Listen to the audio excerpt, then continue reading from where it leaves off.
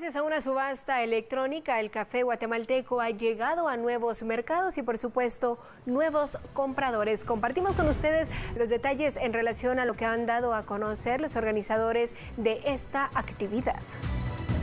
28 lotes de café participaron en la subasta electrónica único en su clase. 12 de ellos lograron compradores importantes de Arabia Saudita, Estados Unidos y otros países asiáticos. Este evento es de importancia para caficultores guatemaltecos, pues permite elevar el precio que se paga por el grano. Realmente este tipo de evento eh, permite no solo promocionar y posicionar el café de Guatemala en mercados internacionales, sino lo que realmente busca es obtener un acceso a mercados directo eh, en donde nuestros productores puedan directamente eh, pues tener una relación comercial con compradores en el mercado internacional.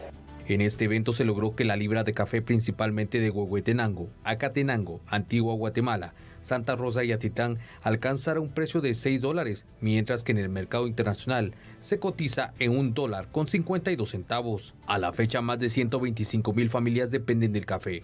Próximamente se realizará la subasta Tasa de Excelencia Guatemala 2021, en donde se espera nuevos compradores y mejorar los precios de venta.